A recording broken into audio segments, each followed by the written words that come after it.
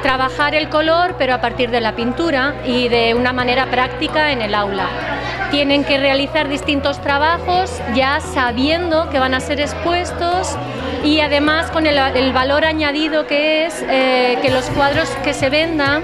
van a ir eh, el dinero en donación a la Asociación de contra el Cáncer del Bajo Aragón. Pues nosotros estamos encantados que como organización cuenten con nosotros para que podamos seguir ofreciendo la ayuda, los servicios, incluso en la investigación, destinar este, este mucho, este poco cuantía económica,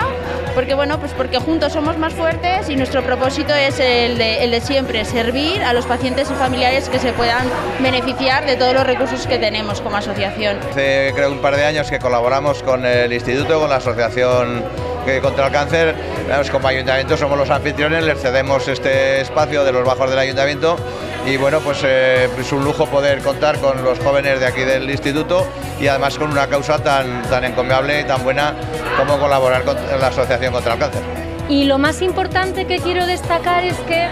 en el momento en que esos trabajos se sacan de papel, se sacan del aula y se ponen en un marco, eh, adquieren un valor eh, y una presencia mucho más fuerte y mucho más... Ellos de repente se sienten mucho más orgullosos que verlo solamente encima de la mesa como un trabajo de clase y nada más.